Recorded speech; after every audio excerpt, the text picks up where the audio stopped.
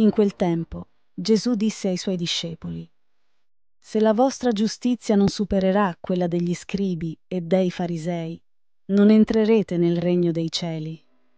Avete inteso che fu detto agli antichi, non ucciderai.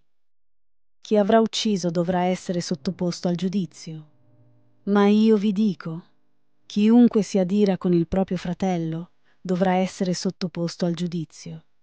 Chi poi dice al fratello stupido dovrà essere sottoposto al sinedrio e chi gli dice pazzo sarà destinato al fuoco della ghienna.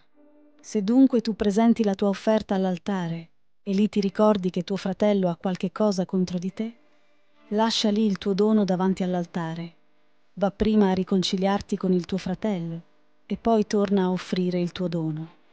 Mettiti presto d'accordo con il tuo avversario mentre sei in cammino con lui, perché l'avversario non ti consegni al giudice e il giudice alla guardia, e tu venga gettato in prigione. In verità io ti dico, non uscirai di là finché non avrai pagato fino all'ultimo spicciolo.